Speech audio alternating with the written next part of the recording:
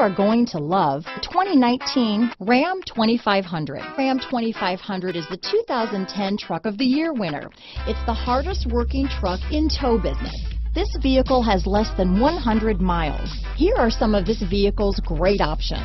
Power passenger seat, traction control, dual airbags, leather wrapped steering wheel, alloy wheels, power steering, four wheel disc brakes, center armrest, universal garage door opener, compass, power windows, electronic stability control, fog lights, security system, heated steering wheel, rear window defroster, heated front seats, trip computer, tachometer. Drive away with a great deal on this vehicle. Call or stop in today.